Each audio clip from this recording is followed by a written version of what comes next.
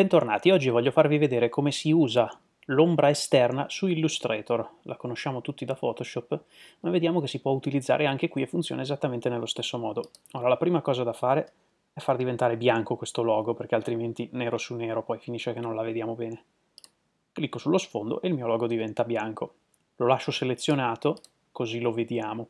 A questo punto andiamo su Effetti, Stilizzazione e Ombra esterna è esattamente la stessa cosa, semplicemente si pesca da quel menu. Ora, le impostazioni base sono queste, di default viene con anteprima deselezionata, quindi io non vedo niente. Se vado a selezionarla, ecco qui che vedo la mia ombra. A questo punto posso scegliere il metodo di fusione, io di solito lascio moltiplica. Si può scegliere lo scostamento, è un po' più macchinosa rispetto a Photoshop perché qui non posso cliccare e trascinarla, devo per forza utilizzare questi numeri. È più scomodo, lo ammetto, però è sufficiente sapere quello che stiamo facendo e si possono ottenere esattamente gli stessi risultati. Vado a fare un lavoro per esempio di questo tipo, dopodiché riduciamo l'opacità a un bel 40%,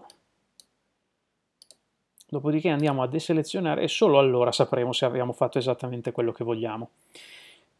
Diciamo che l'ombra funziona esattamente nello stesso modo, è più difficile da gestire in quanto esiste solamente all'interno del pannello aspetto. Se io vado a selezionare la mia forma, ecco qui che ho ombra esterna. Ora io posso spegnerla e riaccenderla come potrei andare a fare su Photoshop, ma mi è molto più difficile andare a rasterizzarla.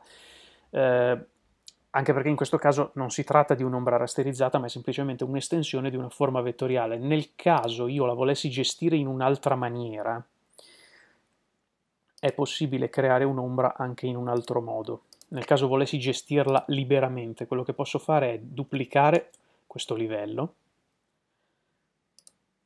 quindi ho due livelli uguali, a questo punto quello sottostante vado a colorarlo di nero, vado a dargli, vado a scostarlo, quindi lo sposto, dopodiché vado a prendere l'effetto controllo sfocatura sì, nello stesso modo abilito l'anteprima e vado a sfocare di quanto voglio, così è un pochettino meno ostico da usare, anche se non è la maniera più corretta. Consiglio di usare questa tecnica solamente in rarissimi casi. A questo punto però la cosa interessante è che posso prendere l'ombra e spostarla liberamente come voglio, posso anche prenderla con, con, la freccia perché di fatto è un oggetto vettoriale a cui è stata applicata la sfocatura e posso fare le stesse cose, posso diminuire l'opacità e ottengo esattamente la stessa cosa, solo che è più facile da gestire.